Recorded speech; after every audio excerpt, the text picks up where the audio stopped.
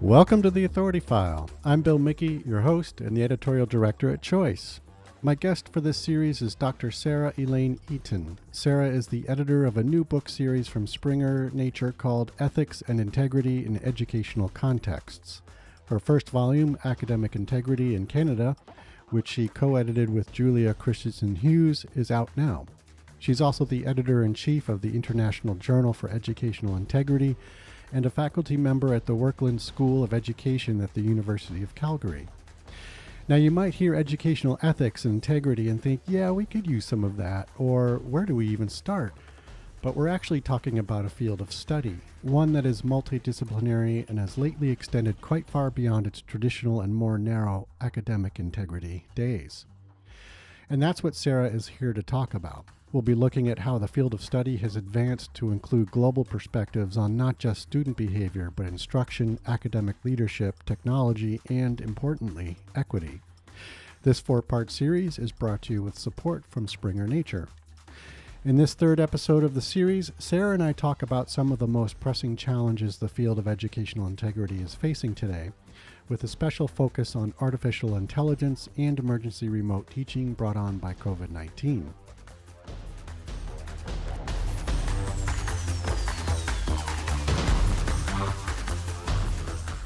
So, what are some of the issues that are currently challenging educational ethics and integrity? Like, what are some of the top of mind things that you're, you're dealing with uh, these days?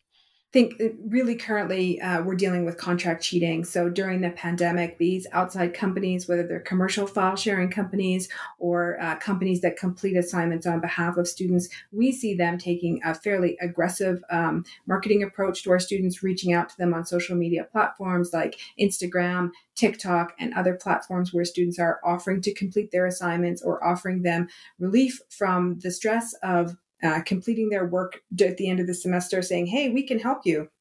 And we try and tell our students these companies are not there to help you. They are there to empty your your pockets, and they do not care if you get called up for academic misconduct, which you will if you hire someone to complete your assignments or sit an online exam on your behalf. And that those things are still not okay, even during emergency remote teaching.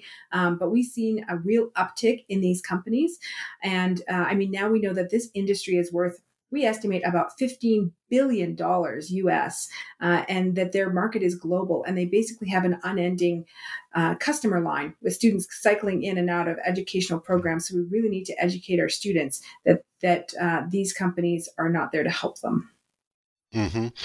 Yeah, and I just yeah, I never I don't want to forget that sort of global perspective. Is this is this a, a, practice that's sort of unique to certain areas or regions, or is it pretty widespread? It's completely global, right? And we might yeah. know that uh, you know there's one parent company, and they might have dozens or hundreds of websites that they localize for some of their marketing. So, for example, I did a research project with a, co- a colleague in Canada where we found companies that had mirror sites for the U.S. and and Canada, and they would mm. say things on the American American site like we can we can help your child with uh, the sixth grade math curriculum. But then they would change that language on their canadian site where they had a maple leaf and say we can help your child with the grade six math curriculum.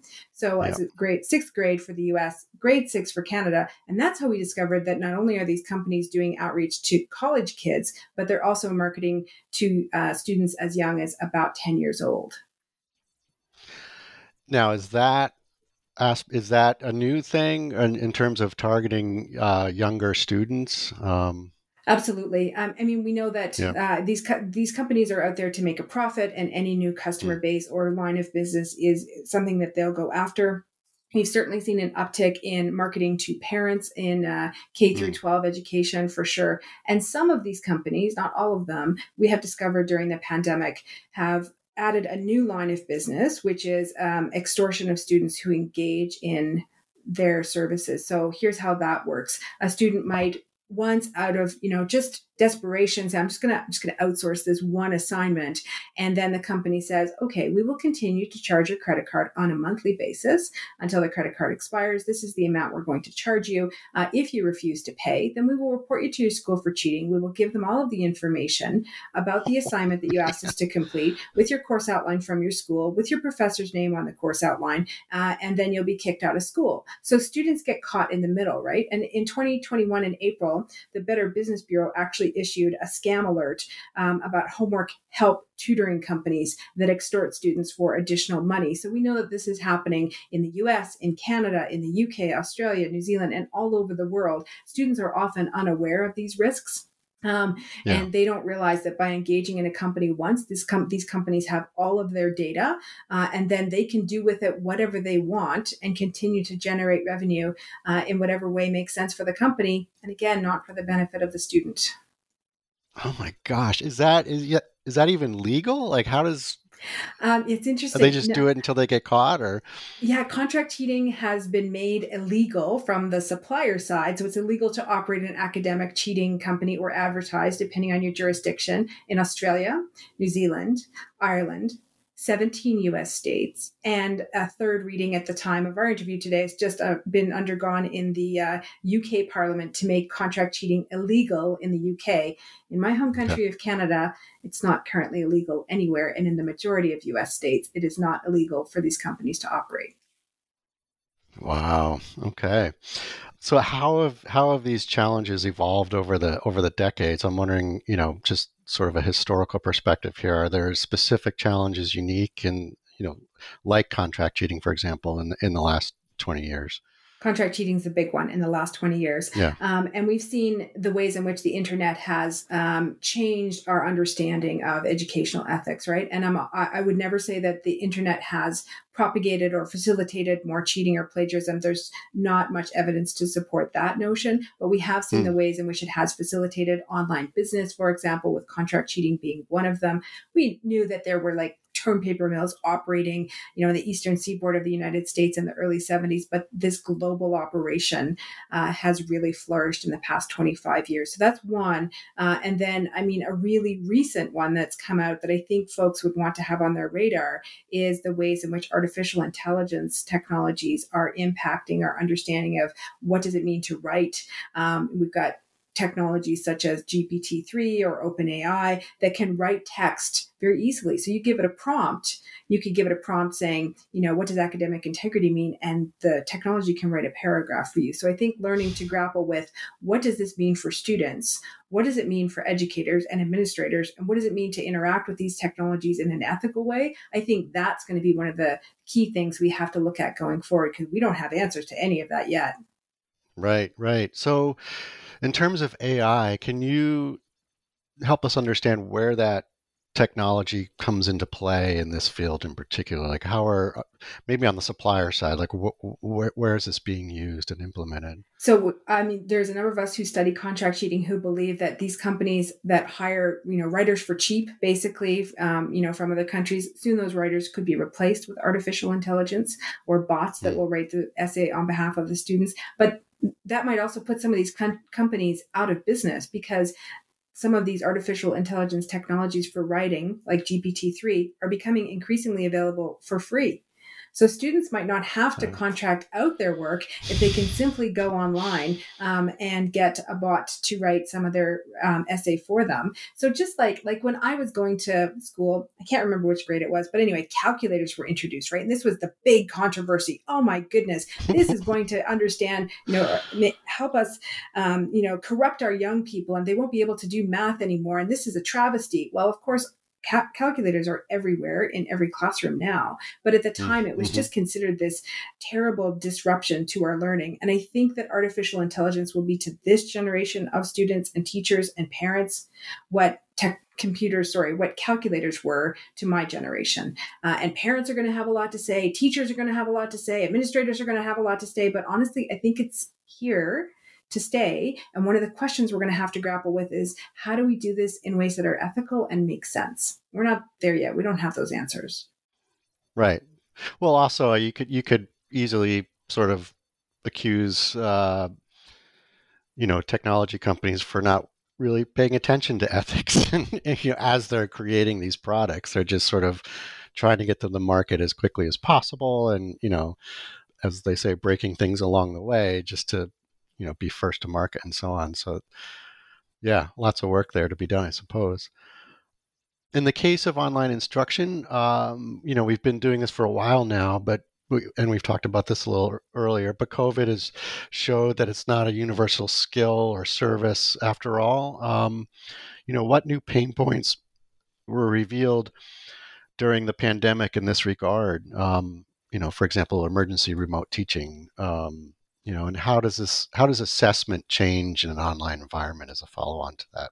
Yeah, these these are great questions, and I really uh, appreciate that you differentiated between emergency remote teaching and online teaching because online teaching was happening before the pandemic. Uh, I, I've had my career right. mainly focused on online teaching since about 2011, and one of the key things he learned very quickly is you simply cannot transplant um, an in-classroom assessment to an online environment. It requires a whole different way of thinking about how we engage in teaching and learning and online assessment. And also i mean in terms of the ethics of all of this what is ethical assessment in an online environment? I would never dream of giving my students um, a multiple choice quiz uh, you know that was a major part of their course mark for the entire semester uh, in an online environment. It, it doesn't make any any sense. There's better, more interesting ways, right? right? When you think about, um, I think about students in my online classes, we've tried all kinds of things. We've tried assignments using social media. We've tried oral exams. Um, I have colleagues who have, for example, assigned students to create a podcast or uh, create a little video. And there's lots of interesting and engaging ways to um, have students show what they've learned um, more than, okay, what have you memorized or what have you consumed in terms of content, but rather, how do we engage students to demonstrate what they've learned in ways that are really exciting and fresh and innovative? Mm-hmm.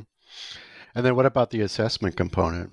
And this is a key piece of it, right? So this yep. requires us as educators to think in new and innovative and fresh ways about assessment because, you know, I can set my online exam quiz to just mark those multiple choice quizzes um, you know very quickly and i don't have to be present as an educator but if i'm going to assign right. to my students that they have to you know create a podcast that means i have to listen to the podcast and have assessment criteria and i have to understand as an educator what makes a good podcast and uh, you know have mm. those expectations for my students so it requires educators to think and be engaged in their own professional practice around assessment and then you know rethink what uh, what might be interesting and innovative for students because doing things like having my students create a podcast well that was not an option that was available to me when i was a student because podcasts didn't exist then and i know i'm dating myself when i say that but it's really incumbent upon us as educators to think about meeting our students where they're at uh, in the 21st century rather than trying to assess them only in the ways in which we were assessed back in mm. the day whenever that might have right. been right um, so, what are sticking with COVID for now? What are some of the ways uh, it's the pandemic has revealed or even accelerated ethics and integrity issues specifically? Yeah, I think one of the things we've seen is this intersection between, um, you know, student stress levels um, and academic integrity breaches. Uh, we we knew long before the pandemic that stress was one of the factors that could lead students to engage in misconduct. So we've seen surge periods, you know, exam periods. There was more cheating, um, but now yep. we've been living in sustained and perpetual stress for a long time. Um, and we don't yet have a whole lot of data around how this is affecting students, but we're, you know, we're seeing anecdotally that most schools have reports of increases in academic misconduct. So, uh, you hmm. know, if someone's working at a school where they have this, it's not a sign that the school has failed in any way because this is a global trend. We're seeing it, you know, across the United States, Canada, and other countries and continents that um, I think in the same way that COVID has shown us the cracks in our broader society, for example, long term care for seniors, COVID has also right. shown us the cracks in our educational society. And how do we need to do better are the big questions we're grappling with now.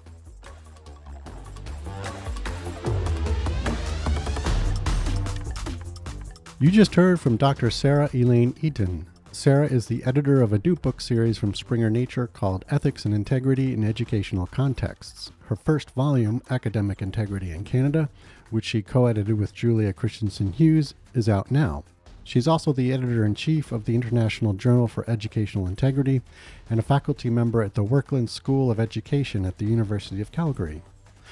Join us next week when we zoom out on educational ethics for a global perspective on policy and governance. We'll also talk about how librarians are uniquely positioned to provide services in support of these efforts. This four part series is brought to you with support from Springer Nature. Oh, I think librarians are the unsung heroes of academic integrity. And libraries themselves can serve as a hub for academic integrity and educational ethics on campus, right? Not only because, I mean, traditionally libraries are intellectually agnostic and judgment free when folks walk through the door. Uh, and then that way the students can have safe conversations with librarians and library staff about how to cite, how to reference, but also librarians can go beyond that um, to talk with students about things like contract cheating uh, and through things like uh, digital citizenship and understanding the perils of connecting with contract cheating companies. I think librarians uh, play a huge role not only for skills training, but also helping students become advocates and agents of their own learning. If you like what you hear, rate us or give us a review on your podcast platform of choice. As always, sponsorship and advertising for the Authority File podcast are handled by Choice's advertising manager Pam Marino, and all of our episodes are produced and edited by Choice's digital media producer Sabrina Kofer. That's all for this week. Thanks for joining us.